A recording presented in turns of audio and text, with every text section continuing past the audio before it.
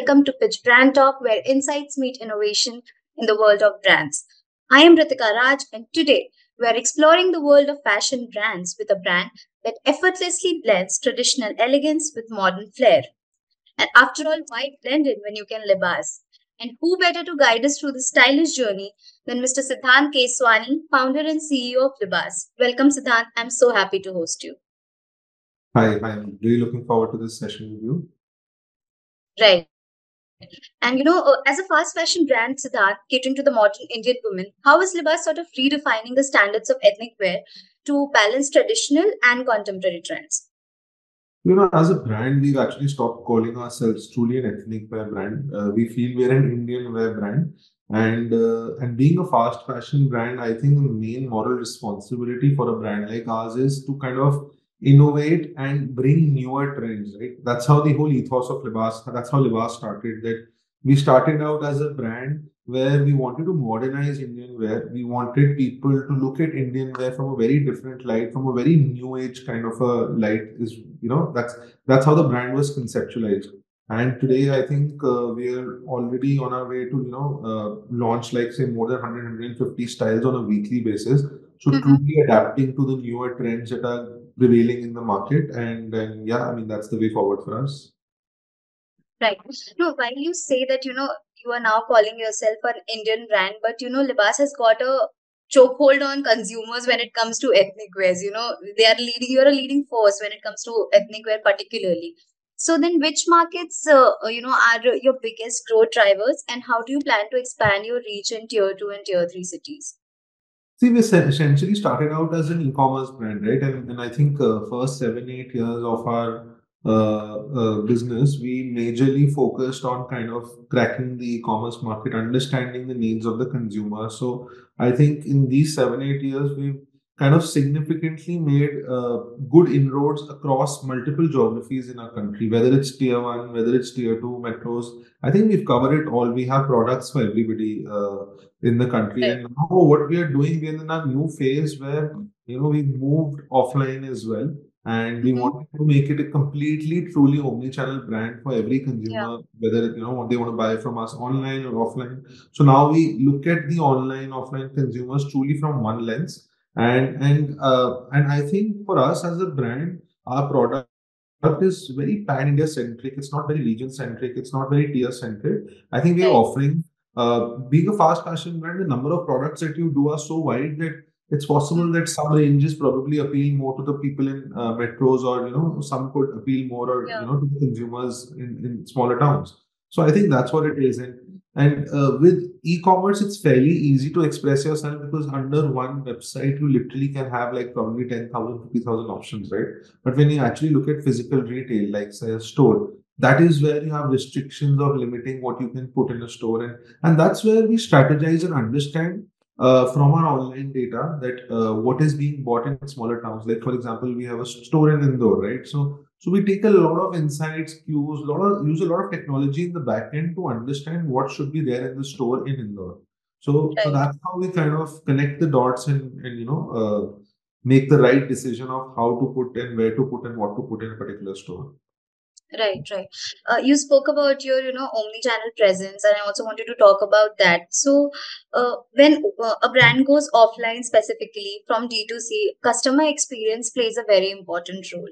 So, you know, uh, how do you ensure that there is a seamless experience given to customers at your offline stores as well? And is there a role, particular role that technology plays when it comes to that? Absolutely. I think I think technology is the biggest driver for omnichannel. I think now technology plays a very important role, not just in the front end, but majorly actually in the back end.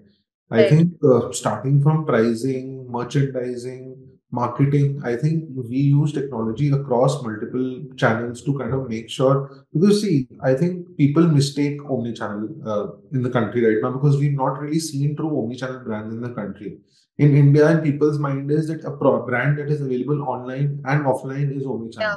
That's not really the case actually. omni-channel is a true sense of whether your consumer talks to you uh, or goes to your website or visits your store starting from the communication to the offers to the product strategy to the language that you speak in should be so cohesive that that it, people should not feel that they're entering into a different brand. It should be like one seamless experience. Today we are trying to create an experience that if you buy from us online, take that product, go into our store and say, I don't like this size, please change it for me. We should not say, and in most brands you hear that, you know, you bought it online, so please return. Yeah. So Yeah. change that. How we greet Right. consumers online is the same way we want to greet them offline. So true omni-channel uh, strategy is where there is a seamless connect. Whether you have a loyalty program, you know, whether you buy, get earn points there, you should be able to, uh, you know, kind of use them in store, etc. So that's how we deal with omni-channel. And for that to have a seamless connect, technology plays a huge role in different Hmm. touch points. Your uh, point of sale software on the store should be talking seamlessly to your you know e-commerce platform whether you're on shopify magento whatever. So that's how we do it and we've really connected the two things really well to kind of give i still feel we're only 60 70% there. We're still constantly working and making sure we improve that. But that's that's the vision that we have for our omni-channel presence Right. And if you were to give me a sense in terms of percentage, you know, how do the sales compare for Libas, you know, vis-a-vis online versus offline? And how has the adoption also been like for your offline stores in key geographies? So, uh, like I said, we've been online for 10 years now almost. Uh, we completed 10 years this year, starting with e-commerce. We started in 2014. So, of course, e-commerce, we've spent so many years. We hold a significant market share. We are the, one of the largest women's fashion brand in the e-commerce space. Offline journey for us is still fairly new. It's been about one and a half, two years, two and a half years now, I think, since we really started offline. Our first EBO opened under two years back. So, Yeah. so I think it's still early days for us, and offline business contributes to somewhere around 15 to 16 percent right now. But the way how aggressive we are going over the next few years, the target is to open 200 plus stores over the next two years and go pan India, really reach everywhere where our online online audiences are as well. So expectation is that over the next two years, offline should contribute to somewhere around 50% of our business.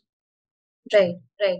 And uh, uh, I mean, we were talking largely about Libas as a brand, and you have Kiara Advani as your brand ambassador. So, what was the strategic thought behind this collaboration, and how do you also see her adding value to the brand identity?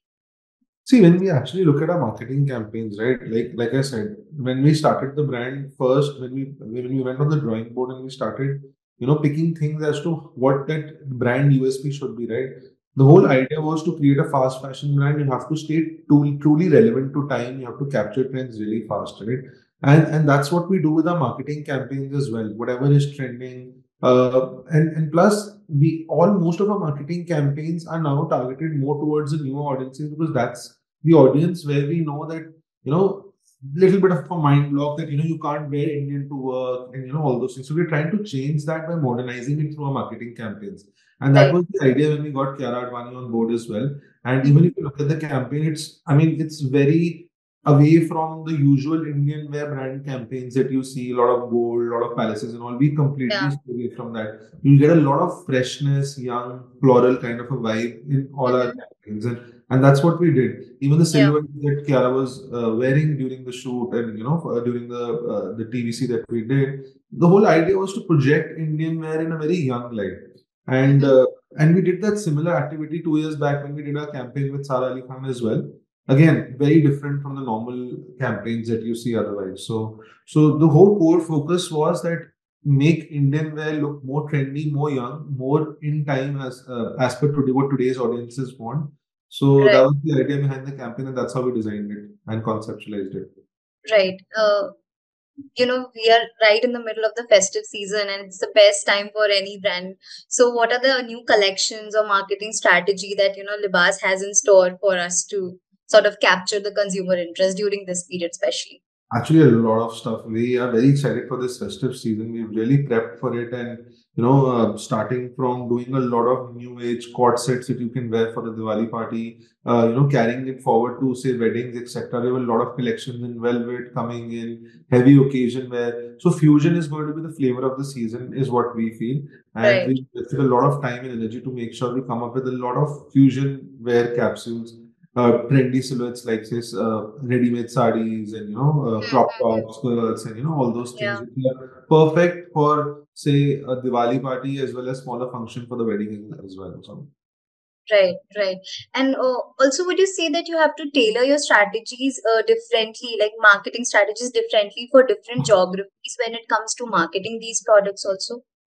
See, of course, I mean, today's time, there is no one size fits all strategy for any business, right? You have to speak the language that the person understands. So, so whichever geography, like for example, when we're doing a campaign focused on the south or maybe around the festivals in the south, we actually think of it from what people want to hear there.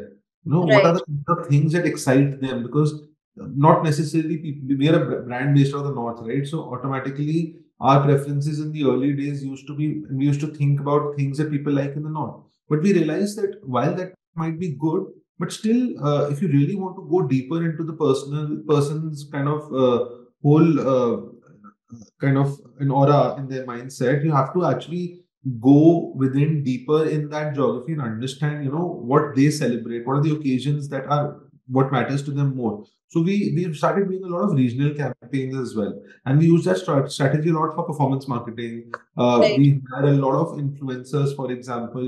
If we are doing a store launch in the south, we'll get local influencers. Even when we are doing, say, any call out for any festival or any occasion that is happening there, we'll get regional influencers. And we, when we plan our budget, we do it actually regionally. That this is the amount of influencers we have to kind of invest in in the south, and this is the amount we have to invest in the north. So that's how we kind of tailor make strategies depending on regions that we go in. right. Uh, so as I see this, I would like to congratulate you as well because Libas has clocked in INR 500 crores in FY24.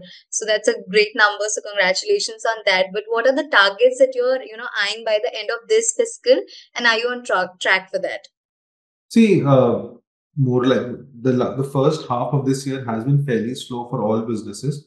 But I think because of our new store opening, overall as a business, we are expected to grow to somewhere around 30 to 40%. And Right, as of now, I think we are in line. Uh, hopefully, festive goes well.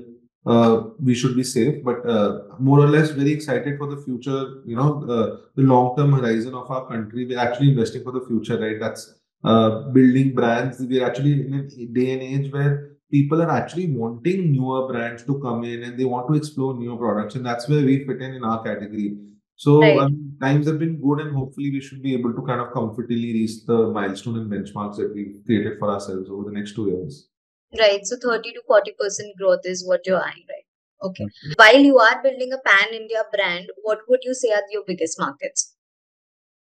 See, for of course, when you come from the north, north tends to become the big. So uh, for us, north is a fairly big market. Uh, uh, especially the Delhi NCR region is really big for us.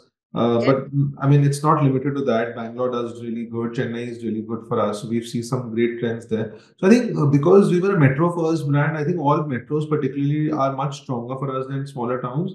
Our Right. focus towards smaller towns actually started during COVID, like around 2020 is when we actually really started having more uh, regional thought processes. And since then, the growth, of course, is coming from there. The the I mean, if I have to compare, if I'm growing metros by say 10%, probably the smaller towns are growing for me by 50%. But yes, if you Right. talk about the current customer base, it majorly lies in the metros for us. Right. And uh, you know, in your segment, there's a lot of competition, traditional players, D2Cs, uh, you know, unorganized sector. So how do you sort of differentiate yourself from other players, particularly in terms of product innovation and also maintaining customer loyalty? See, I think how we've built a brand is, uh, of course, while looking at competition is very important, but uh, we keep benchmarks for ourselves and we try to outperform ourselves, right? Because we've realized that uh, while most of this market was purely, you know, uh, unbranded for the last 60, 70 years, right? Yes. And it's only the last seven, eight years you've actually started seeing newer brands coming in flourishing. But I still feel that in the fast fashion space, uh, we are still one of the only few brands in the country uh, because most of the other brands that you'll see are probably have their own niches, USPs, and you know they perform in their own way how they've built their brand over the last 20 Yeah. years. Us being a fast fashion first brand, uh, we always try and stay ahead of the curve, and, and our main focus is speed. You know, probably any trend that you'll see on social media, I would like to believe that we make all the efforts to make sure that we are the first ones to kind of get it to the consumers. Uh, Right. so, so in, in a true fast fashion way, so what is the definition of fast fashion? Whether it's a marketing campaign, whether it's any product that you see, any trend that is popping up in the market, you have to be the first one, right? And that's how Right. our team's mindset are built. Everybody knows that our organization main ethos is speed. That if you are five minutes late, you miss the bus.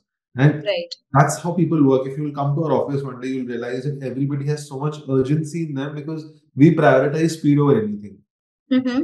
So, so I think that's how we built our brand over the last 10 years, and that's what our ethos truly has been since day one. And uh, I think now it's in everybody's DNA. So it's not even a discussion anymore. So any process, any new problem that we face, we solve it through speed. So Right. Anything else that you'd like to add? No, I mean, uh, we're very looking forward to the festive season. I think this should be a good season. Uh, a lot of businesses, especially fashion brands, have seen a dry spell over the last five to six months. And with the number of occasions that are coming over the next three to four months, too many weddings, there are a lot of sires for the weddings. Uh, Yeah. Diwali is also well placed in the first week of November. So, you know, every, everything is signing towards a good festive season. So, we hopefully will follow the wave and make sure it's a good success for us and all the other brands as well. Right. Thank you so much for doing this today, and I hope you have a great festive season ahead. Thank Thank you. you. It was lovely talking to you. Thank you so much. Likewise. Thank you.